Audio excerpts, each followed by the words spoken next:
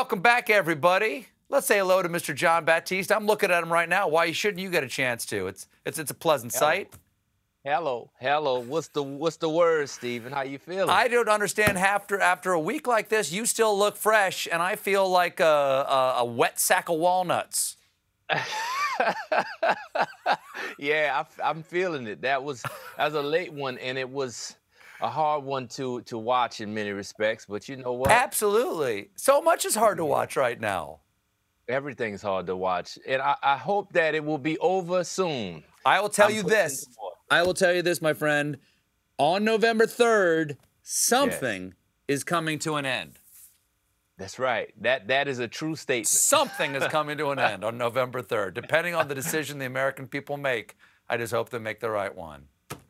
Yeah, yeah, and we know what the right one is, so we just got to keep pushing toward that. That's right.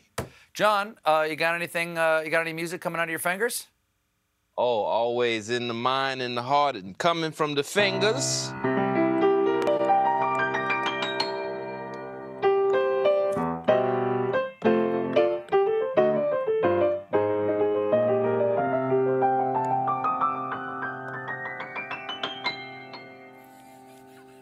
Thank you, Jon. Jon Batiste, everybody. hey.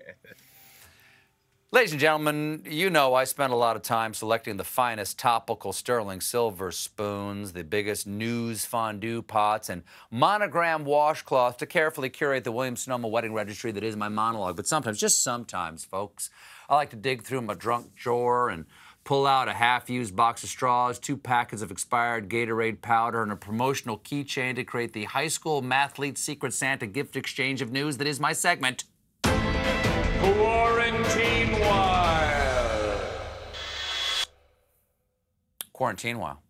Rumors continue to circulate around the new Amazon Studios Lord of the Rings series, and the latest is that Amazon plans to include nude scenes in the show. That's the good news. The bad news, it's not who you want it to be. They have a cave troll. The rumor got started when internet sleuths found some casting calls for the show saying that the filmmakers need nude people based in Auckland. Okay, doesn't sound like they need actors who are willing to be nude. It sounds like they want people who are currently nude. So, tough break for all of you clothed actors out there. But great news for Creepy Paul. Quarantine while. We here at Meanwhile Interactive Synergy and Disruption Consultancy Partners LLC sometimes acquire so many food related stories we collect them in our Quarantine While sub sub segment, Cuisine While. Cuisine While. Because of the pandemic, some restaurants are introducing time limits. That'll make for a romantic first date. Hey, I'm having a great time. I could stare into your eyes forever, but do you mind chugging your lobster bisque? Because the waiter is giving me the stink eye. Quarantine While. Fans of Kraft mac and cheese have been scandalized because apparently Kraft's newest ad campaign has a risque tagline send nudes. Let's see what they're doing there. Let's hope it's more successful than Hormel's rump roast campaign. Eat butt. Quarantine while. Here's a thing that exists. It's the world's first app-controlled male chastity device perfect for anyone who's ever wanted to say, Alexa, turn off my husband.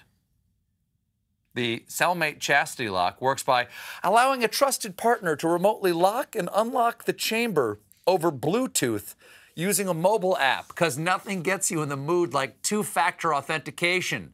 Baby, let's make love right after I click on every square where there's a traffic light to prove I'm not a robot. Quarantine while. You can now be sexy hand sanitizer for Halloween. Let's see it, Jim. That's not a sexy hand sanitizer. This is sexy hand sanitizer. Oh, yeah. A fully stocked shelf of reasonably priced purifying gel with no limit to per customer signs. Mmm. I want to take you home and get sterile all night long. We'll be right back with Mindy Kaling.